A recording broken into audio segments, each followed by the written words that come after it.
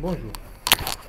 En restant dans les problèmes de conversion entre le système de numération de base 10 vers base B, ici on va faire l'inverse de, de, la séquence de l'exercice traité dans la séquence précédente.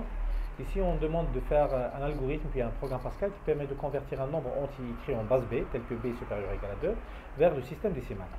Donc lors du déroulement du programme, on va avoir euh, ce type de, message d'invitation qui permet d'inviter l'utilisateur à introduire les valeurs. Ici, on invite l'utilisateur tout d'abord à introduire la base B qui est supérieure ou égale à 2. Donc ici, il a fait 2. Donner un nombre en base 2, il a fait 10, 1, 0. Donc 1, 0 en base B, pardon, en base 2, je vais faire comme ça, en base 2, égale, égale à 2 en, en décimale. Donc si par exemple, il nous donne ici la base 2, et ici il va faire 100, 1, 0, 0. Donc 1, 0, 0 en base 2 égale à 4 en décimale, etc. On va essayer de généraliser. C'est une généralisation de conversion de base décimale vers, la base B. Donc, euh, les variables dans ce problème, donc c'est clair, il y a la valeur qu'on va saisir. C'est la valeur. Donc ici, on va la traiter comme étant une chaîne de caractères. Il y a, euh, il y a la base B. Il y a par la suite, euh, il, y a la il y a la base B, il y a la valeur en chaîne de caractères, il y a euh, par la suite la valeur qu'on doit trouver en décimal qui est un entier.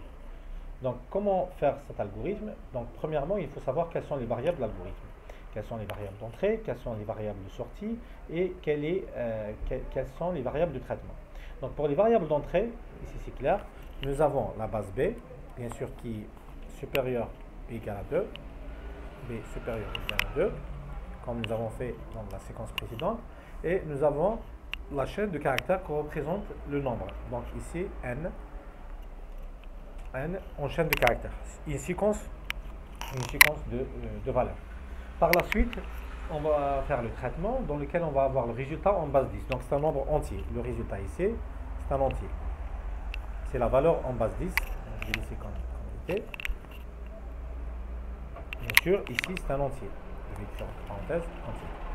Les variables de traitement, qu'est-ce qu'il y a? Donc, bien sûr, ici, il faut parcourir euh, la chaîne de caractères de n. C'est-à-dire, n ici, elle possède trois, trois, euh, trois chiffres. Donc, 1, 0, 0.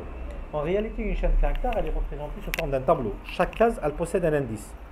Donc, euh, la première case, c'est 0.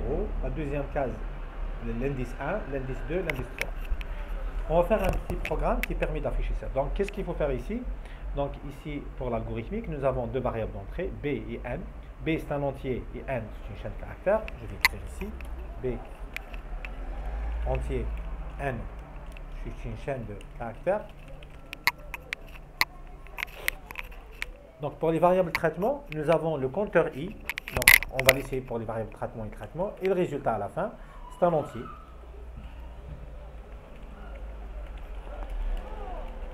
Donc à la fin, il faut afficher, il faut afficher le résultat. Je vais écrire un pseudo-algorithme, après on écrit l'algorithme proprement. Donc quelle est, la façon comment faire le traitement? Donc on initialise le résultat à 0. Pardon? On initialise le résultat à 0. Après on va faire une boucle pour le compteur i allant, allant de 1 jusqu'à euh, jusqu'à la taille la taille de la chaîne de caractère, la taille de n. La longueur, on peut dire la longueur. Donc une chaîne de caractère possède une longueur, c'est le nombre de caractères. Quelle compose cette chaîne de caractère Donc ici faire. Qu'est-ce qu'on fait? Bah, Pardon. Donc ici. Jusqu'à la longueur.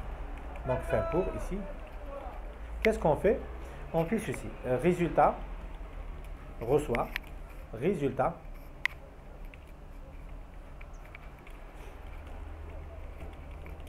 plus.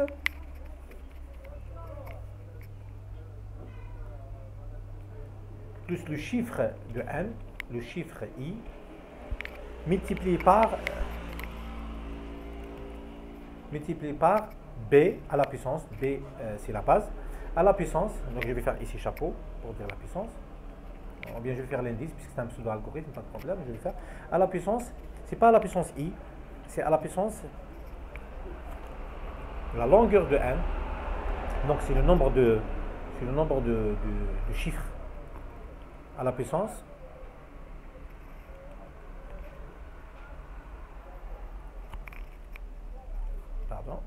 à la puissance la longueur de, n, le nombre, le nombre de chiffres ou bien le nombre de caractères de cette chaîne de caractères.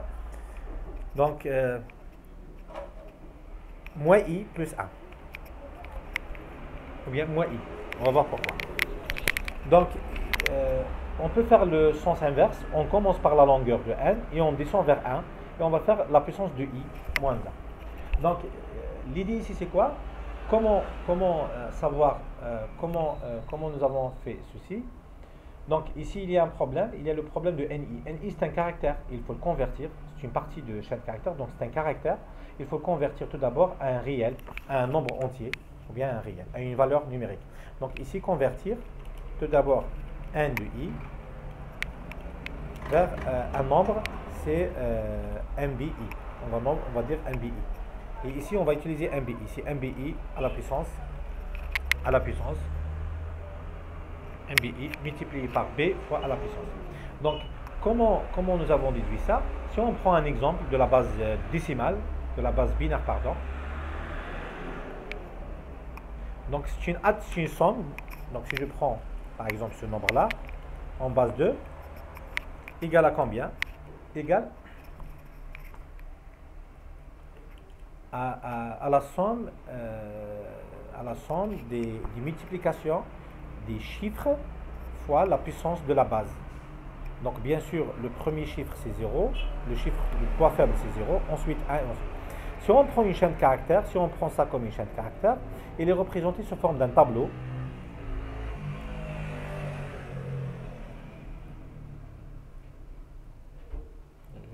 Un tableau à l'intérieur, je ne sais pas ce que ça peut, ça peut être inséré. Il est, il, est, il est saisi comme étant un tableau de quatre positions ici. Donc ça, c'est l'indice 0. Ça, c'est l'indice. Donc, donc il y a quatre positions dans ce chiffre-là. La première position, c'est l'indice 0. C'est la puissance 0. Ça, c'est la puissance 1. Par la suite, ça, c'est la puissance 2. Ça, c'est la puissance 3. Donc, le, problème, c'est quoi? C'est que ces puissances-là sont l'inverse de l'indice. Ça, c'est l'indice 1. Et ça, c'est l'indice 2. Ça, c'est l'indice 3. Ça, c'est l'indice 4. Donc un tableau, si je présente un tableau, je vais, m'expliquer, je prends quatre positions, je vais prendre les chiffres, ça c'est les valeurs, je vais insérer une deuxième ligne de tableau. Donc ça c'est les chiffres 1, le chiffre 1, ça c'est le chiffre 0, ça c'est le chiffre 1, par la suite c'est le chiffre 1. Ça c'est les chiffres composant le nombre. Et ça c'est les puissances, ça c'est la puissance 0, ça c'est la puissance 1, ça c'est la puissance 2, c'est le poids. Ça c'est la puissance 2. Donc, lorsqu'on parcourt à partir de 1, il y a aussi, ça c'est les puissances, on va insérer une ligne au-dessus. Donc, on va insérer une ligne au-dessus, c'est la position, c'est l'indice. En réalité, ça c'est l'indice 1, ça c'est l'indice 2, ça c'est l'indice 3, ça c'est l'indice 4. Donc, comment nous avons trouvé, je vais agrandir la fenêtre du commentaire, comment nous avons trouvé cette formule-là, B à la puissance? En réalité, lorsqu'on calcule ce, nombre-là, c'est ce premier 1 fois 2 à la puissance 0. Donc 1 multiplié par 2 à la puissance 0. Plus, donc ici c'est une puissance. Donc plus le deuxième 1, ce 1 là, à partir de la droite, multiplié par 2 à la puissance 1. Par la suite, plus 0 fois 2 à la puissance 2 plus 1 fois 2 à la puissance 3. J'espère bien que c'est clair ici. Donc, c'est les puissances augmentant de 0, 1, 2, 3. C'est le, poids de chaque chiffre. Maintenant, ces poids-là, comment les déduire par rapport à la taille de la chaîne de caractères Si on prend 4, euh, le poids 1, c'est quoi 4 C'est la longueur de la chaîne de caractères. Donc il faut généraliser la formule. Donc c'est quoi ce 0 là? C'est 4 c'est euh,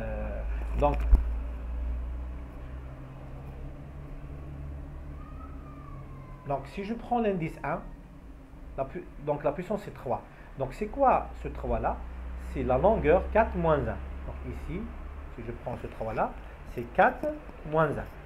Si je prends ce 2-là, c'est 4, ce 2-là, c'est la puissance, 4 moins 2, l'indice. Ça, c'est l'indice, ça, c'est la puissance.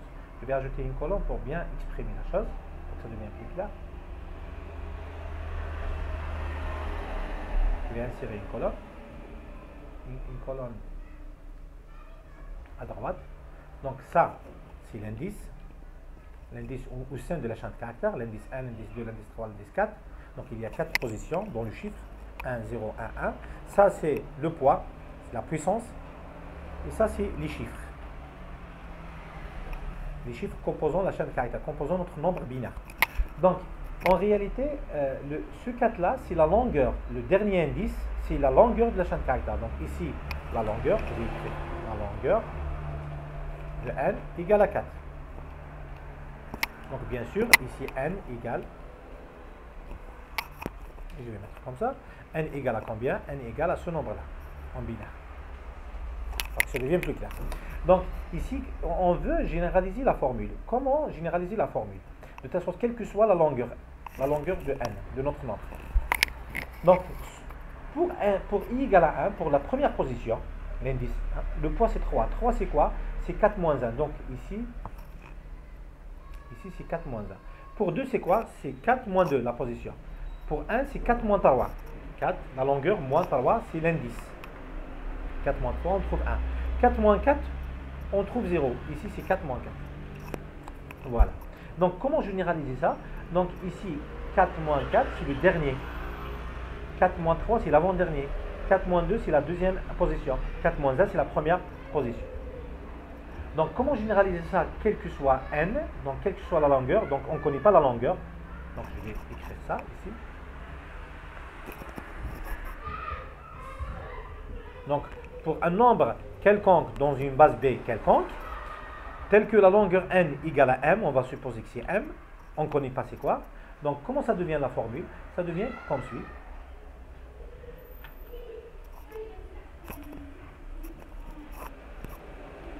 Égal. Donc, si je prends ici les chiffres, donc je prends les chiffres m moins 1. On va supposer que c'est m plus 1. On va commencer pour euh, terminer à 0. Donc ici, c'est m, l'indice. Ça, c'est le chiffre m. Par la suite, le chiffre m moins 1. Ensuite, m moins 2 jusqu'à, pardon, je, vais préciser, jusqu'à C2, C1 et C0. Donc je vais faire des indices pour que ça devienne plus clair. Ça c'est la puissance, pardon. L'indice, c'est C0, C1, C2. Ici c'est l'indice M-2. Donc c'est la position de c'est la position du chiffre au sein de euh, du chiffre au sein du nombre complet. Voilà. Donc, de C0 jusqu'à Cm, nous avons n plus 1 caractère. Donc, la longueur de n, ici, dans notre nombre, ça devient quoi? Ça devient, donc, C0 multiplié par B à la puissance 0. Donc, ici, c'est l'indice, C0. Ici, B à la puissance 0. Plus, je vais copier-coller pour ne pas refaire les choses. Donc, C1 multiplié par b à la puissance 1 plus C2 multiplié par b à la puissance 2 jusqu'à, bien sûr,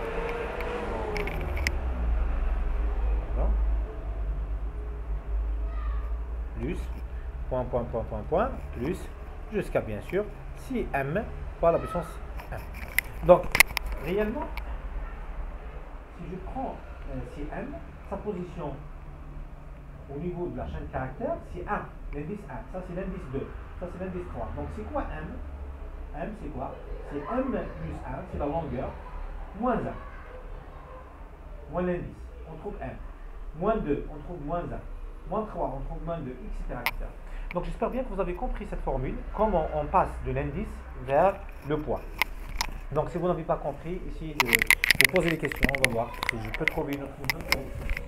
Donc, Comment faire tout ça? Comment réaliser ça techniquement? Donc, je vais réaliser l'algorithme tout d'abord propre, donc propre ici, dans, la structure algorithmique que nous avons vue au cours. Donc ici, nous avons euh, la base, on commence par la base. Par euh, la base, c'est un entier.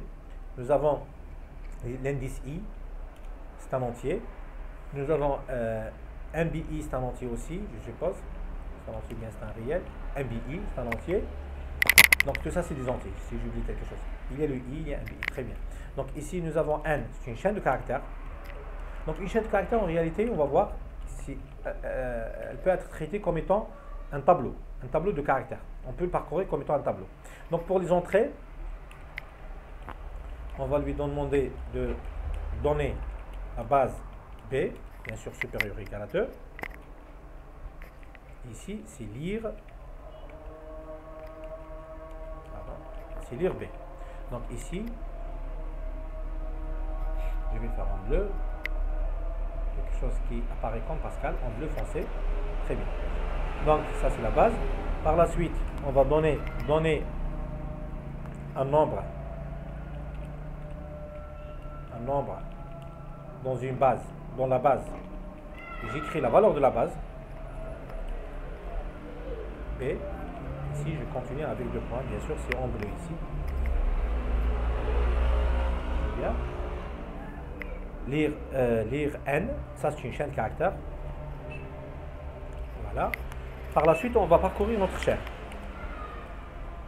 Pour I reçoit la position 1, l'indice 1, à la longueur de la chaîne. On va voir en Pascal comment faire la longueur de la chaîne. Faire. Qu'est-ce qu'on fait? Donc ici, bien sûr, fin court. Donc je vais faire apparaître les, mots-clés, les pseudo-mots-clés de l'algorithmique, ici. Pardon. Pardon, ça c'est fine. Voilà. Et ici c'est fine. Donc qu'est-ce qu'on va faire? Donc tout d'abord, il faut convertir convertir n de i vers le nombre MBI avec un code d'erreur. On va voir ça avec la fonction, on a vu ça déjà, c'est avec la fonction val.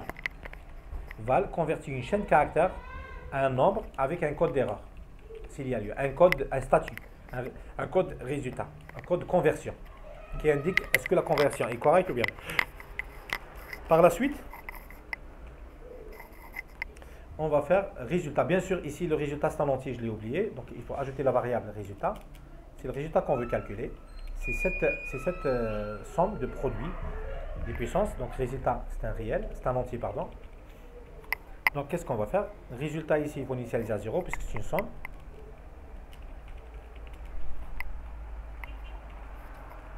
Par la suite, on fait résultat plus euh, reçoit résultat plus quoi? Plus le MBI multiplié par étoile multiplié par la puissance. Donc ici en Pascal, il n'y a pas de puissance. Donc on, a, on utilise la fonction exponentielle de, euh, de longueur de n. On peut aussi simplifier l'algorithmique. On va enregistrer longueur de n au niveau d'une variable pour ne pas répéter ici l'appel à longueur de n. Ici, on va ajouter une variable. C'est le nombre de chiffres. Donc c'est m, on va, on va, on va nommer m. C'est longueur, c'est le nombre de chiffres que nous avons saisi pour le nombre pour, en base B. Donc ici, longueur de la chaîne caractère. Donc ici, m multiplié par ln ln de, de quoi? De b. Donc c'est b à la puissance 1. Ça, ça remplace b à la puissance 1. Donc ça, ça remplace b à la puissance 1. Je vais faire un petit commentaire ici. Donc ça égale. Donc vous pouvez chercher pourquoi. C'est une, une, propriété mathématique euh, de, puissance et. Pardon, je vais agrandir la zone de, de dessin. Cette zone de texte. Je vais de l'autre côté pour écrire cette formule-là, c'est très important, ça égale b à la puissance 1. Je vais faire la puissance. Voilà. Donc ici, euh, donc c'est m moins, moins i. Donc c'est m moins i. Donc il va varier. Donc c'est m moins 1 par la suite, m moins 2 par la suite, etc. etc. Donc m moins i ici pour que ça devienne plus clair. Donc ça c'est un commentaire, je vais ici le faire en italique. Donc voilà. Donc, et à la fin, on affiche écrire comme il est indiqué dans, l'énoncé de l'exercice, je reviens à l'énoncé de l'exercice, il, m'a, il nous a demandé d'afficher ça. Donc je vais copier ça. Entre chaîne de caractères, bien sûr, euh, je, vais, je copier. Après, je vais faire en bleu, pensez. Voilà. Donc, ça, c'est N nous avons saisi. N en base, ici, en base B, ça c'est en noir les, virgules avec B, on va le faire en noir, automatique, égal, ça c'est une chaîne de caractères, égal à combien? Égal à résultat en, décimal. Donc voilà. Donc j'espère bien que vous avez compris cette solution algorithmique. Donc pour prouver, pour voir, euh, pour prouver que ça s'exécute correctement, c'est-à-dire c'est une solution algorithmique correcte, bien valide, on va faire euh, euh, on va faire la traduction en Pascal. On va faire la traduction en Pascal et on va exécuter le programme. Ou bien vous déroulez. Donc vous pouvez essayer de dérouler cet algorithme et voir est-ce que ça donne un bon résultat. Donc la seule chose qu'il faut savoir en Pascal, c'est comment, euh, convertir, comment calculer la longueur d'une chaîne de caractères. Donc ça c'est technique du Pascal. La conversion, il faut savoir, on a vu déjà les deux procédures val et donc on va traduire ça en Pascal. Donc je vais mettre à côté l'algorithmique. Voilà, ici je vais essayer d'apparaître tout l'algorithme. Je vais réduire le ruban de fils. Voilà, comme ça, ça devient plus clair. Voilà l'algorithme est devant nous. On va traduire ça en Pascal. Donc j'ouvre la fenêtre de Pascal, je crée un nouveau programme. Voilà, j'agrandis et je commence. Donc tout d'abord, je vais enregistrer le programme vide, save. Je vais le mettre dans le dossier exemple et ici je vais faire euh, B10, non, ou bien base, tiré 8, 10. Ou bien deck, décimal. Pour pour. Donc, euh, programme, conversion, base B, base 10. Donc, vous pouvez faire un identificateur plus long, uses CRT, et begin et end point. Donc, ça, c'est la structure minimale d'un programme Pascal avec Borlord Pascal pour Windows. Donc F9, il n'y a pas d'erreur, j'enregistre. Donc je vais faire les variables. Donc qu'est-ce que nous avons? Nous avons B, la base. Nous avons I, MBI. Ça, c'est des entiers. Et il faut ajouter le code d'erreur, le statut de conversion, code conversion. Donc ces codes-là de conversion, il faut l'ajouter. J'ai oublié de l'ajouter ici, il faut l'ajouter ici. Code. Donc ça, c'est technique. Il faut revenir vers la, vidéo euh, de STR Rival pour comprendre code conversion. Par la suite, nous avons fait faire un c'est une chaîne de caractères. Donc, euh, donc ici, les chaînes de caractères, en réalité, c'est un tableau de, de caractères. Tableau de caractères. C'est des cases de caractères. C'est des cases contiguës de caractères. Le maximum de cases ici, le maximum de, de taille, c'est 255 caractères. 255 ou bien 256 caractères. Je sais pas, 255.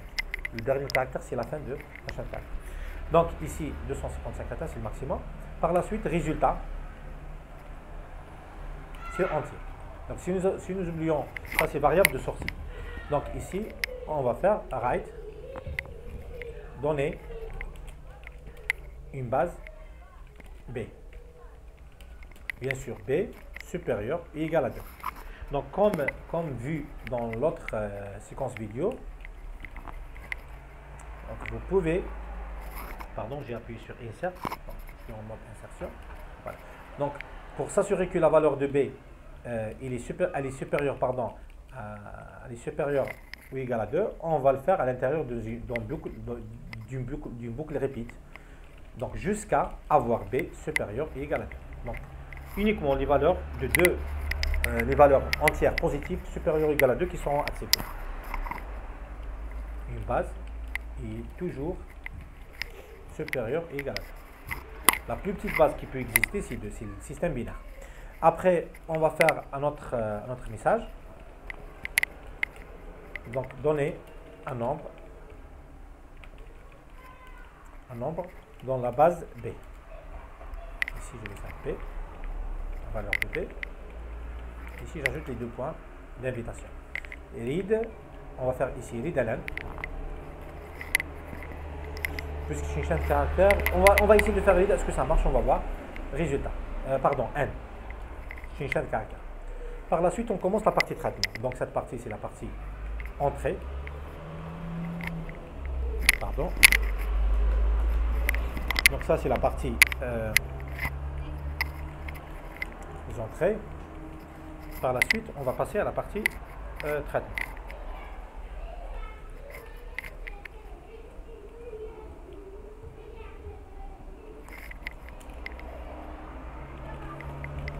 Par la suite, nous aurons la partie sortie, résultat. Donc la partie traitement, la première chose, il faut initialiser le résultat à 0. Donc, euh, c'est possible de compiler avant de continuer. Donc, on enregistre et on compile. File, save.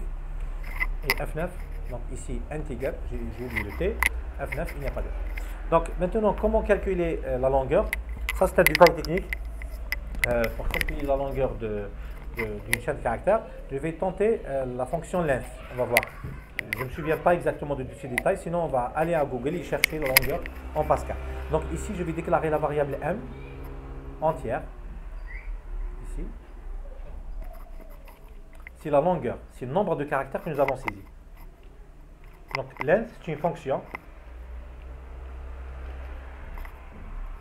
Donc, pardon. Voilà.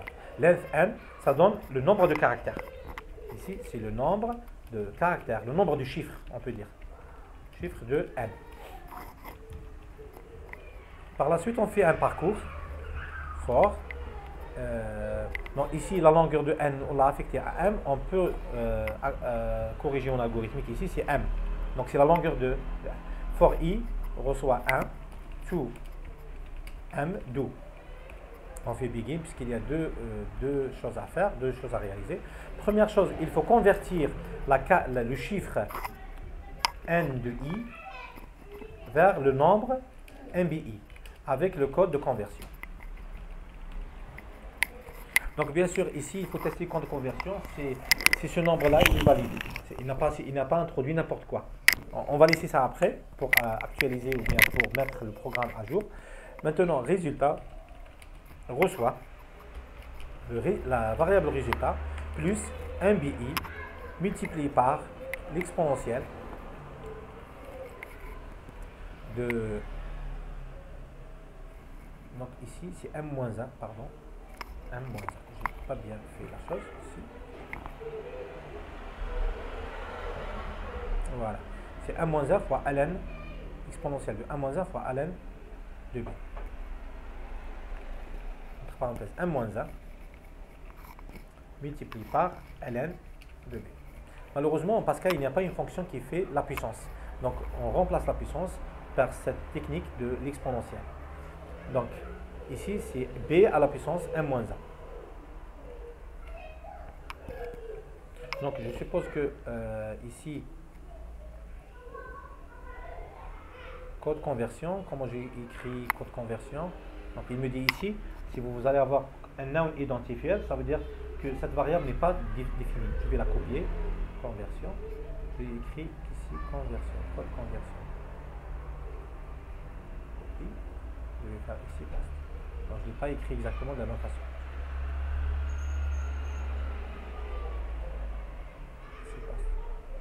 code conversion. Ici, c'est quoi? Euh, Type mismatch. Donc ici, le problème, ici, c'est, il est dû à quoi ce problème-là? Le problème, il est dû que ce nombre-là, c'est un, réel. Donc normalement, le résultat, il est entier. Pour éviter ce problème, on va, convertir, on va, déclarer le résultat comme étant un réel. Donc c'est pas un entier, à cause que la puissance, elle est réelle. Et ici, il n'y a pas de problème. Donc à la fin, on va afficher le résultat. Donc on va afficher comme suit.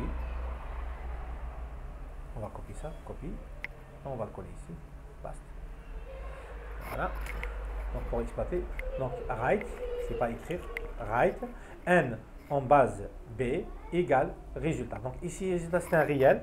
Je vais faire ici 0, 0, 0 chiffre après la virgule. Donc égale résultat en base en décimale. J'enregistre, file, save, je compte. Donc, euh, si vous voulez avoir une vue globale du programme, de toute façon, je vais faire un lien pour télécharger cette petite, documentation, cette petite documentation en PDF. cette page-là en PDF. En plus de ça, euh, vous allez avoir le programme. Euh, vous allez avoir le programme euh, en Pascal. Vous pouvez le tester. Donc ça c'est le programme conversion. Voilà. base B vers le Donc je vais exécuter, on va tester. Donc je vais faire le test 1. donc la base, je vais faire 2. Je vais mettre donc ici voilà, c'est ça le problème ici. Si vous faites entrer pour B, et il ne va pas s'arrêter pour faire, euh, pour faire euh, le N, le chaîne de caractère N. Donc ici, c'est comme si N égale à 0, une chaîne vide. Donc pour éviter ça, pour les chaînes de caractères, il faut faire read N. Donc les read elle elle, est, elle est obligatoire pour les chaînes de caractères. Je suppose que c'est ça le problème. De, voilà. C'est problème ici Je vais faire ici aussi. Je vais faire tous les deux Ridanen, je vais voir. Parce que c'est le problème. 2. Voilà. Donner un nombre dans la base 2. Je vais me donner 100. 100 normalement égale à 4 en base D. Voilà. Donc 100 en base 2 égale à 4 en décimal. Donc, euh, donc je vais donner un autre cas. Je vais enlever ce Ridanen, on va voir comment est-ce que c'est correct. Est-ce que Ridanen c'est pour le premier ou bien pour le deuxième? Ou bien pour les. Je vais donner toujours la base 2 et je vais donner 1000. 1001, c'est 9. Ah, 1001. Ici, il y a une là-bas.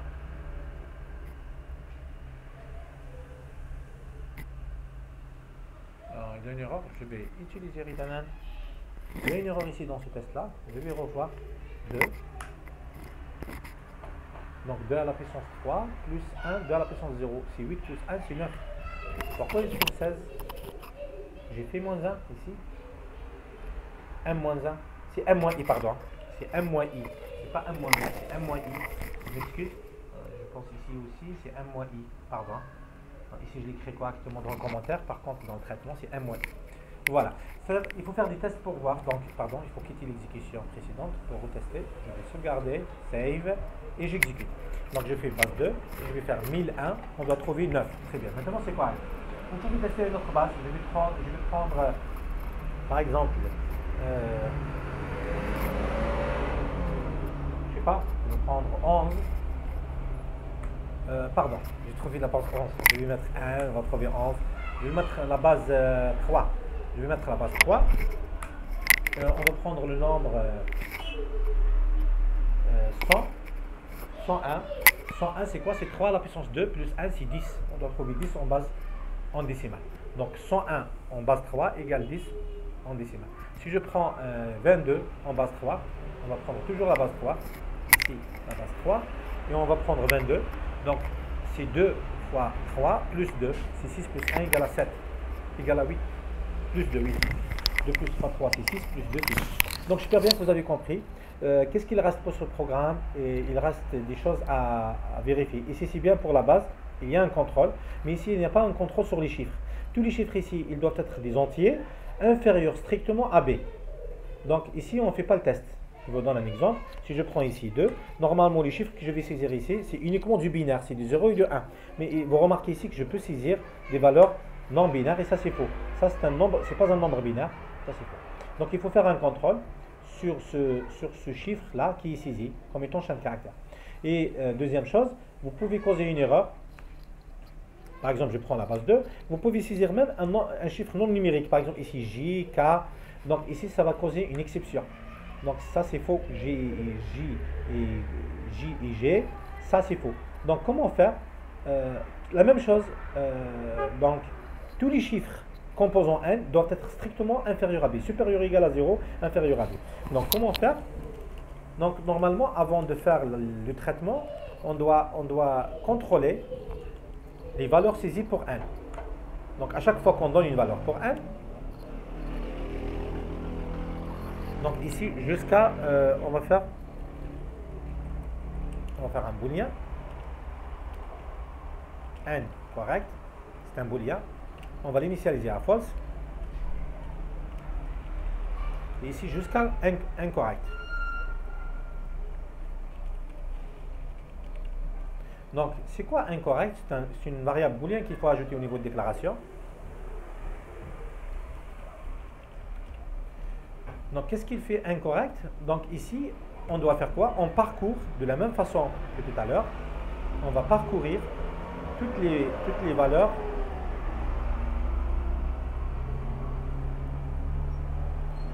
toutes les, toutes les, toutes les chiffres de n. Avec cette façon-là, on va parcourir tous les chiffres de n. Donc ici, m, c'est quoi? C'est la longueur. C'est la longueur de n. On parcourt tous les chiffres. On va convertir tous les chiffres avec la méthode val. Donc ici, on a fait n de i. On va le convertir en bi. Donc ici, il y a deux cas. Soit la conversion est correcte, soit la conversion est fausse. Donc, euh, si la conversion est correcte, donc code conversion est égal à 0. Conversion égale, égal à 0. Si code conversion est égal à 0, très bien, pas de problème.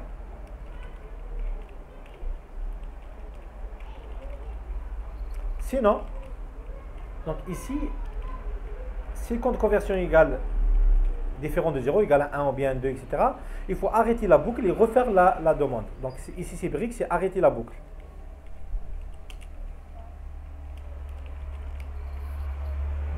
Je vais faire F9 s'il n'y a pas d'erreur. Voilà. Brique, c'est arrêter la boucle. Lorsqu'il arrête la boucle, incorrect, elle est false. Donc, until false, il va refaire la boucle. On, doit avoir incorrect true. Maintenant, si compte conversion égale à 0, c'est correct. On va voir le NI. Est-ce qu'il est bien?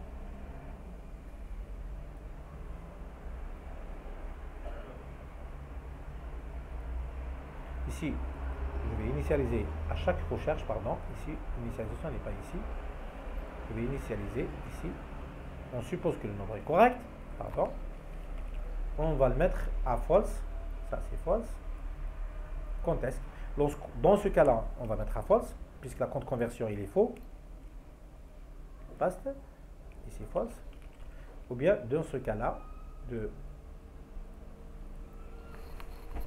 on trouve un code conversion égal à. Si if pardon, MBI supérieur à B, ici on n'accepte pas le nombre. On n'accepte pas le nombre. Then, begin, and, la même chose. On va le mettre à false et on va arrêter la boucle. Donc tout ça, on est dans les entrées. Donc ici, c'est pour contrôler le chiffre. Donc ce repeat là, donc je vais agrandir dans l'ordre Pascal. Je vais essayer de minimiser un peu l'écriture. Je vais mettre 12. J'espère bien que c'est clair pour vous, comme ça, 12 ou bien 13. Donc toute cette boucle, c'est juste une boucle pour vérifier que le chiffre saisi par l'utilisateur, le nombre saisi par l'utilisateur est correct. Ça veut dire quoi il est correct? Ça veut dire que tous les chiffres CI, ces chiffres CI, les chiffres CI, C0, C1 jusqu'à C1, dans la base B, sont, euh, tous ces chiffres-là sont supérieurs ou égaux à 1 et inférieurs, inférieurs à B. Donc ici, les CI, pardon, le chiffre CI, il doit être supérieur ou égal à 0 et inférieur strictement à B. Donc, c'est pour cela que nous avons fait le test. Si ça est supérieur ou égal à B, on n'accepte pas ce nombre-là. Ce nombre-là, il n'est pas accepté. Donc, on va faire incorrect, il est false, donc il n'est pas correct, et on arrête. Ou bien, on trouve un nombre non numérique. Donc, quand conversion égale pas à 0, ça veut dire qu'on a, on a un chiffre non numérique. Donc, euh, je compile, il n'y a pas d'erreur. On va tester. Si je donne la base 2, il n'accepte pas, par exemple, 41, il ne va pas l'accepter. Il va me donner, donner un autre nombre à la base 2, dans la base 2. Ça veut dire le nombre que nous avons saisi, 41, il n'est pas correct. Donc, si je donne 50, il ne va pas l'accepter. Si je donne 20, 200, il ne va pas l'accepter. Donc, il va accepter uniquement les 0 il est 1. Donc, je vais mettre ici 1. Ça, il va l'accepter. Donc, ce nombre-là égale à 21 en base, base 2. Euh, ça, c'est faux, je suppose. On va voir. Est-ce que j'ai pas fait d'erreur? Ça, c'est fou, c'est pas 21. Donc décimal. je vais vérifier la, le, programme, il est correct ou bien non? Ok. Ici, on va redonner, repeat, read n, la base B, c'est correct, oui. Length n. Très bien.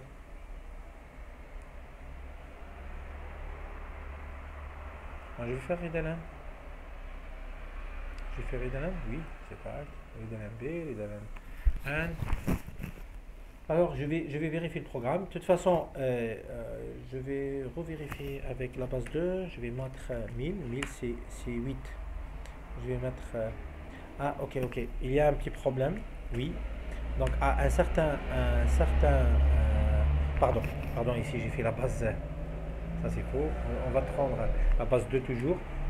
Un certain nombre, un certain seuil. Ça, c'est dû... Ça, c'est faux en réalité. Ça, c'est dû à à la taille, à la taille du nombre réel. Donc il y a une taille pour le nombre réel, il dépasse pas un certain seuil à cause de la puissance. 1024, etc. Je suppose. Donc je vais montrer. Ça c'est 1024. Euh, ça c'est 8. Donc vous vérifiez le programme. Donc euh, j'espère bien que vous avez compris l'idée. Euh, bon courage et je vais essayer de revoir le programme. Euh, euh, donc j'espère bien que vous avez compris. Bon courage et merci bien.